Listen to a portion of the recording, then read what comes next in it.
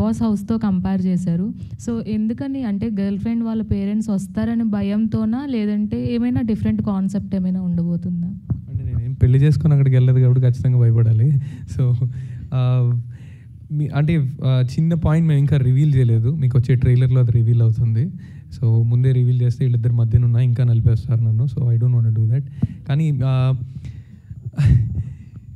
Big Boss హౌస్తో compare చేసింది ఎందుకంటే నువ్వు బయటికి వెళ్దాం అనుకున్నా నువ్వు వెళ్ళలేవు. అందుకు కంపేర్ చేశాను బట్ వీడు ఇష్టపడి వెళ్తాడు బట్ అక్కడ ఇంకా కష్టపడి ఉండాల్సి వచ్చిన పరిస్థితి వస్తుంది. సో ఇది ఎంటైర్ ఫిలిం ఈ పాయింట్ మీదే రన్ అయ్యి మీకు ఆ- నేను అన్నట్టు కుర్చీ మీద కింద పడితే ఎవడన్నా బాబు వాడికి నొప్పి ఉంటుంది కానీ మనకు నవ్వు వస్తుంది.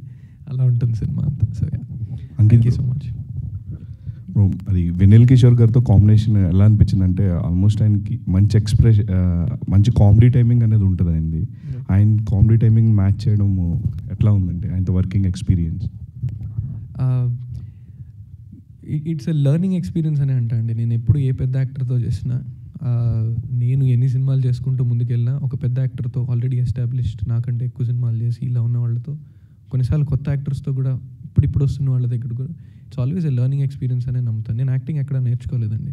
కానీ ఇప్పుడు వచ్చి ఎవరన్నా యాక్టింగ్ ఎలా ఇలా చేస్తున్నావు టైమింగ్ బాగుంది చెప్పిన వెంటనే చేయగలుగుతున్నావు నన్ను ఆడిషన్స్లో ఉన్నా ఎక్కడన్నా సరే నాకు వచ్చే ఫస్ట్ థాట్ ఏంటంటే నాకేమీ ఎక్కడి నుంచో దేవుడు ఊడిపడి ఇదిగో అని ఏమి ఇవ్వలేదు.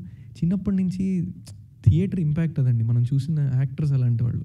చిరంజీవి గారు కానీ బ్రహ్మానందం గారు కానీ డిఫరెంట్ జోనర్స్లో డిఫరెంట్ యాక్టర్స్ తెలియకుండానే ఒక ఇంపాక్ట్ ఇస్తుంది మనకి.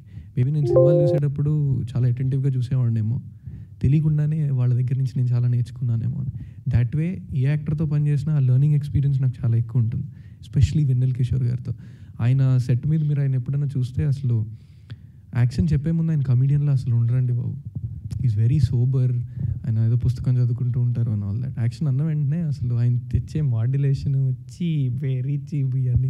It's very different so that's it was lovely working with all the best అండి thank you so much thank you